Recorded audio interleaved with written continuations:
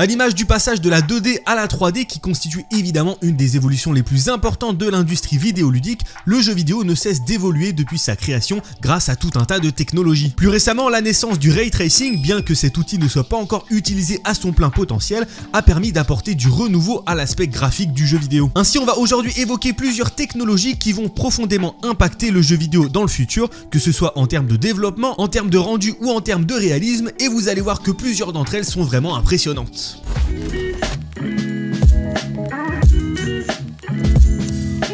Annoncé tout récemment à l'occasion du discours d'ouverture du Computex 2023, la technologie Nvidia Ace pour Avatar Cloud Engine vise à totalement révolutionner l'intégration et le réalisme des personnages non jouables dans nos jeux. Dans les faits, il s'agit ainsi d'un service de génération de modèles d'intelligence artificielle qui va apporter un comportement et des réactions plus pragmatiques au PNJ par le biais d'interactions de langage notamment, l'idée étant évidemment d'accroître encore un peu plus l'immersion. En guise de démonstration, Nvidia a même partagé une vidéo dans laquelle on voit un développeur user de sa propre voix pour interagir avec un PNJ, tandis que celui-ci lui répond très naturellement et de manière réaliste et adaptée à la situation et au contexte du jeu. I don't know. I can't tell these days. Business is so slow, I'm practically going bankrupt.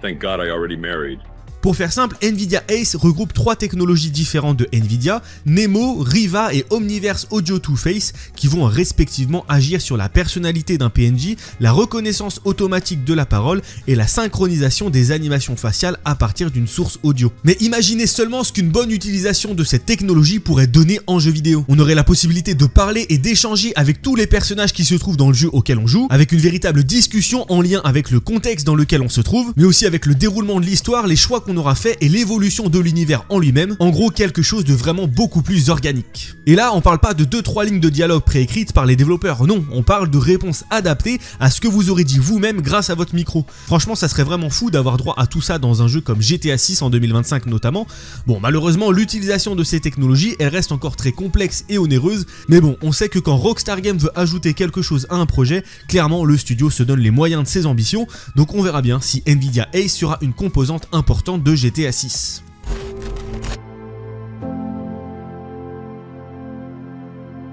Bon, si vous jouez aux jeux vidéo, vous avez très certainement déjà entendu parler du DLSS de Nvidia pour Deep Learning Super Sampling et du FSR d'AMD pour Fidélité FX Super Résolution. Ce sont des technologies déjà implémentées dans de nombreux titres, mais qui pourraient booster encore plus les capacités des jeux dans les années à venir. En fait, pour faire simple, ces deux outils, ils misent sur l'intelligence artificielle pour améliorer drastiquement les performances d'un jeu tout en utilisant moins de ressources. L'idée, en fait, c'est de réduire la pression sur la carte graphique en affichant une image originale à une résolution inférieure, puis en utilisant l'intelligence artificielle pour mettre à l'échelle cette image afin de donner l'impression qu'elle est exécutée à une résolution supérieure. Dans les faits, votre PC peut ainsi faire tourner un jeu en 1080p avec les graphismes réglés sur élevé avant que le DLSS ou le FSR ne viennent ajuster la résolution pour passer à de la 1440p ou même de la 4K, tout ça sans impacter sur les ressources demandées et sur les performances du jeu. De même pour ce qui est des joueurs console, cela peut correspondre au passage d'un mode qualité à un mode performance, ce dernier profite d'une fréquence d'image plus élevée et voit sa résolution être upscalée grâce au DLSS ou au FSR. Bien évidemment, l'utilisation de ces technologies n'est pas encore totalement maîtrisée et euh, tous les jeux ne peuvent pas en profiter, mais cela va clairement se démocratiser encore plus dans les années à venir et il y a fort à parier que les prochaines générations de consoles misent notamment là-dessus pour proposer des performances améliorées.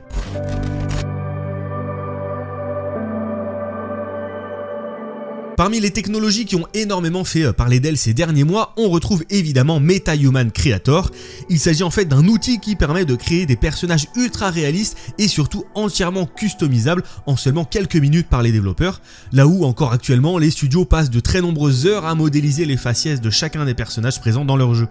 Ici on peut vraiment gérer énormément de paramètres du visage en seulement quelques clics, la forme globale, les cheveux, les yeux, la pilosité, en bref un petit peu comme un outil de création de héros dans un jeu, mais ici c'est évidemment bien plus réaliste et bien plus complet. On peut ainsi capturer notre visage en temps réel grâce à une simple caméra et directement intégrer notre tête sur un personnage ou dans un jeu. On peut aussi associer directement nos animations faciales au modèle qui se trouve dans le jeu et franchement c'est hyper impressionnant à voir et c'est surtout gratuit ce qui fait que c'est hyper accessible à tout un tas de développeurs à travers le monde. On avait d'ailleurs eu droit à une démo de MetaHuman Creator pour le jeu Hellblade 2, on voyait ainsi euh, l'actrice incarnant Senua se filmer pendant quelques secondes avant que le tout ne soit instantanément converti en animation particulière particulièrement bluffante afin de l'intégrer à un modèle 3D qu'on pourrait tout à fait retrouver dans un jeu. Plus récemment, on a aussi eu droit au trailer de Audi, le prochain jeu de Kojima, qui a clairement mis en avant cette technologie avec des visages ultra impressionnants. Là encore, c'est pas demain la veille que ça pourra parfaitement être utilisé dans l'ensemble des jeux vidéo, mais ça va véritablement marquer un tournant pour le réalisme des jeux, surtout si on combine tout ça avec Nvidia Ace dont je vous ai parlé il y a quelques minutes.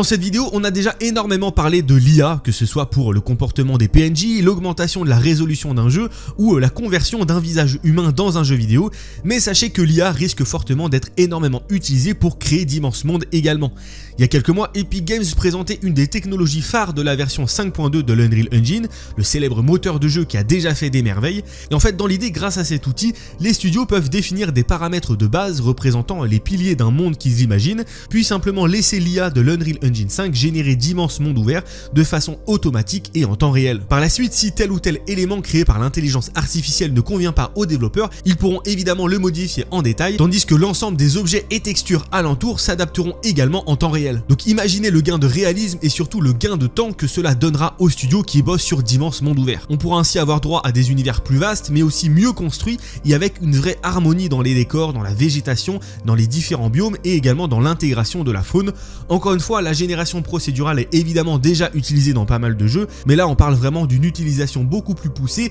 et qui pourrait permettre de faire énormément de choses en plus.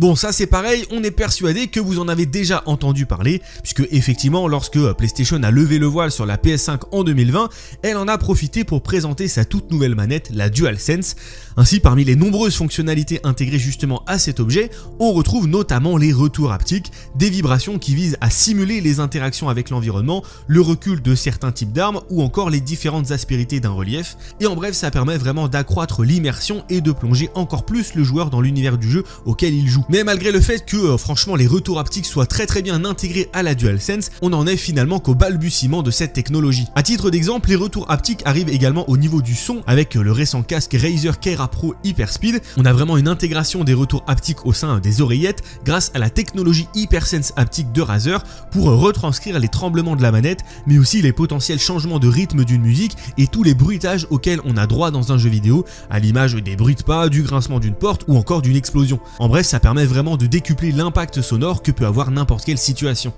Il y a quelques mois, on vous a pareillement parlé de la veste haptique OWO qui euh, permettait justement de ressentir les bienfaits de l'haptique sur de nombreuses parties du corps grâce aux électrodes directement intégrées dans la veste. On sait aussi que euh, Microsoft réfléchit sérieusement à l'intégration des retours haptiques dans ses manettes. Elle a d'ailleurs profité d'un sondage auprès des joueurs pour connaître un petit peu leur ressenti au niveau de cette technologie et ainsi savoir s'ils aimeraient voir ces fonctionnalités débarquer du côté des manettes de la marque verte. Donc voilà, la technologie haptique est petit à petit en d'évoluer avec le jeu vidéo et il y a fort à parier qu'on puisse ressentir encore plus de choses dans le futur. On a commencé avec une simple manette, là on parle d'un casque et d'une veste haptique, donc ça pourrait vraiment évoluer vers beaucoup d'autres choses dans le futur.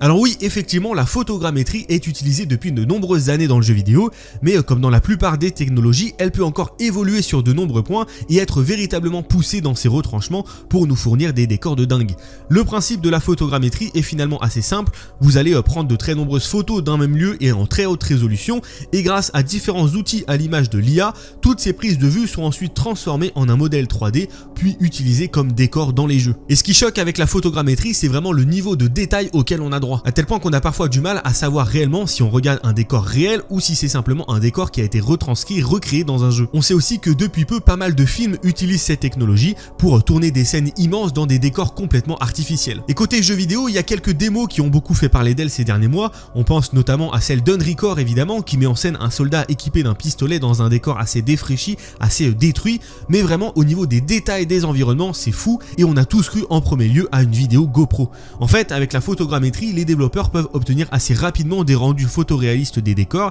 et ils ont plus qu'à modifier quelques détails, affiner certains éléments, mais on a vraiment une base qui est hyper solide et qui va assurément permettre au studio de proposer d'immenses jeux s'approchant de la réalité en termes de graphisme.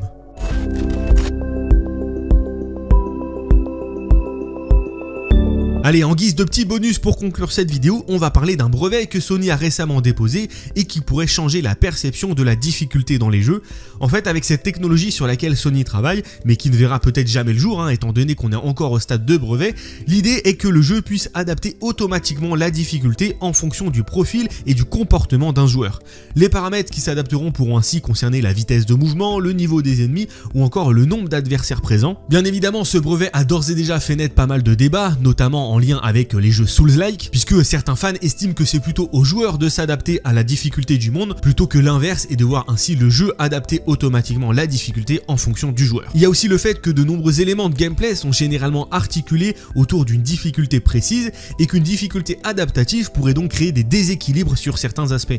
Pour l'instant, on n'en sait rien, évidemment, mais on tient quand même à ce que vous nous donniez votre avis sur ce point-là dans les commentaires. Alors n'hésitez pas à nous dire ce que vous pensez de la potentielle intégration de la difficulté adaptative dans le jeu vidéo. Voilà en tout cas tout ce que je pouvais vous dire concernant ces technologies qui devraient révolutionner le jeu vidéo dans les mois et les années à venir. N'hésitez pas à nous dire quelle technologie vous semble le plus marquant, le plus impactant. Et si cette vidéo vous a plu, n'hésitez pas à la liker, la commenter, la partager, à vous abonner à notre chaîne YouTube et à activer la petite cloche pour être au courant de l'arrivée de tous nos prochains contenus. Je vous invite également à faire un petit tour dans la description pour nous suivre sur les réseaux sociaux et vous abonner à la version en papier de Jeux Vidéo Magazine et ainsi recevoir votre exemplaire tous les mois dans votre boîte aux lettres. C'était Adrien pour